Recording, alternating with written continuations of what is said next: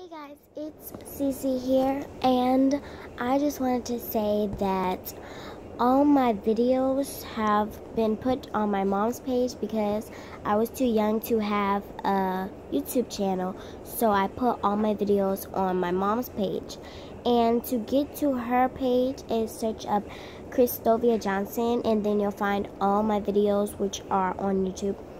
And I'm also friends with Kendall on Musically and on Instagram.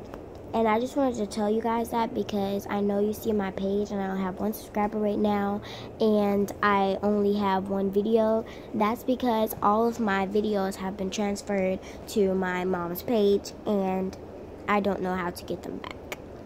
So if you want to see my videos and all my new videos, you can find them other under Christovia Johnson, which is also the name of this page.